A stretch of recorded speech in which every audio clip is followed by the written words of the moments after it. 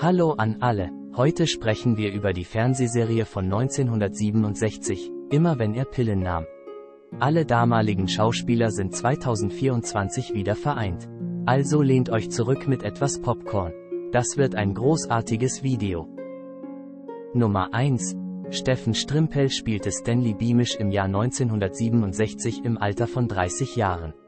Steffen Strimpel verstarb im Jahr 2006 im Alter von 69 Jahren.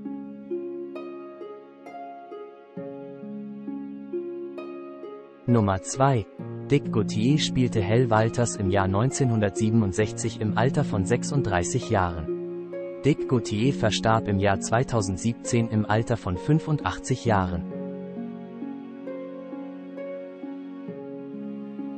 Nummer 3.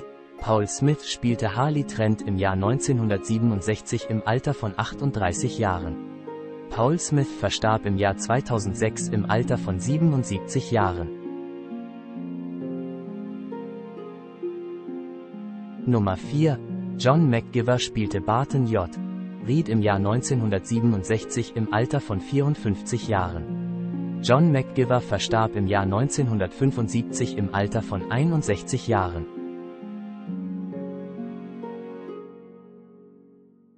Nummer 5.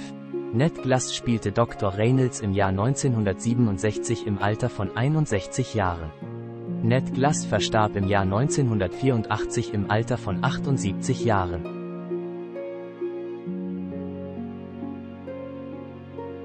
Nummer 6. Susan Seaforth Hayes spielte June im Jahr 1967 im Alter von 24 Jahren.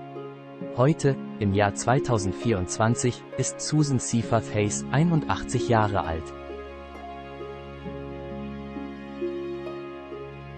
Nummer 7. Bonnie Hughes spielte George im Jahr 1967 im Alter von 26 Jahren.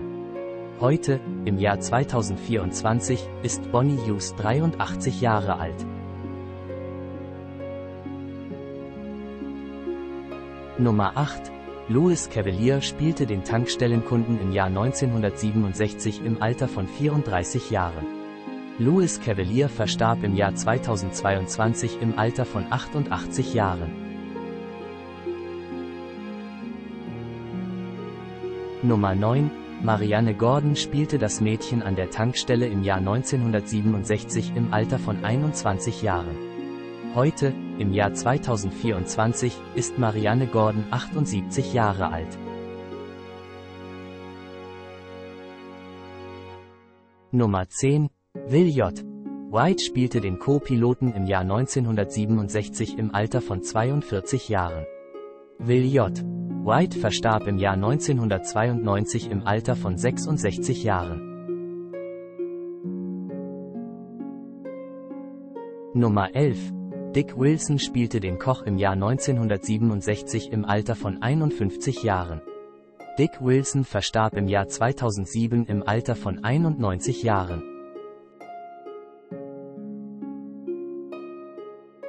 Nummer 12. Alan Young spielte Stanley H. Beamish im Jahr 1967 im Alter von 48 Jahren. Alan Young verstarb im Jahr 2016 im Alter von 96 Jahren. Da habt ihr es. Ein schneller Überblick über die Veränderungen der Besetzung von immer wenn er Pillen nahm. Welche Entwicklung hat euch am meisten überrascht? Lasst es uns in den Kommentaren unten wissen und vergesst nicht, unser Video zu liken, zu teilen und unseren Kanal zu abonnieren, um mehr nostalgische Inhalte zu erhalten. Vielen Dank fürs Zuschauen und wir sehen uns im nächsten Video.